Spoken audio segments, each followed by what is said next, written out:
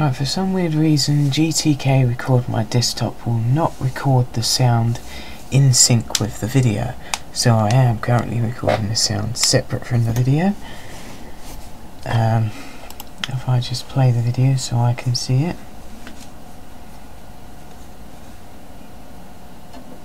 Right, basically you need to go to the Compiz settings manager on the control panel, you can reach it by.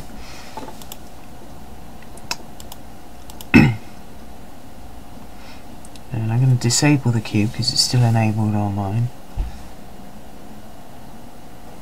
Right, so we enable the desktop cube.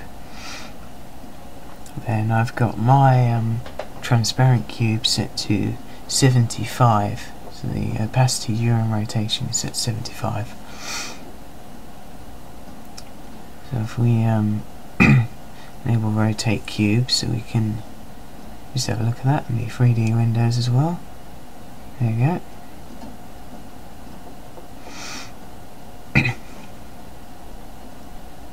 if we enable the cube gears, because I've got the 75 opacity, you can see that, and you might notice the video speeding up and going a bit haywire.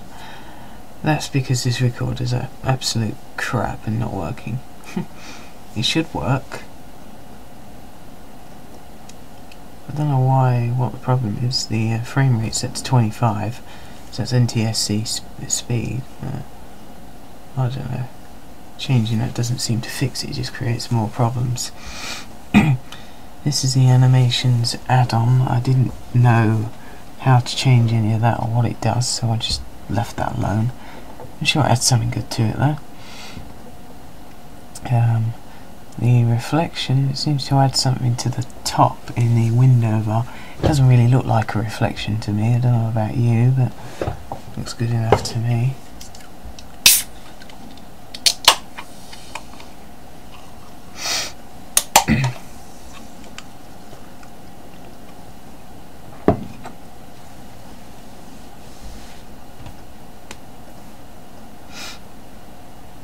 The blur windows I couldn't get working. It seems to disable the reflections on on the windows after they've been selected. I don't know why that is.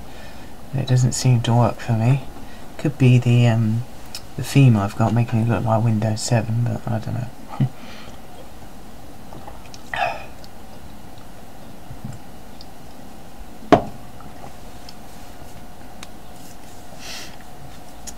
right, yeah, anyway, um, Thanks for watching, have fun, peace out.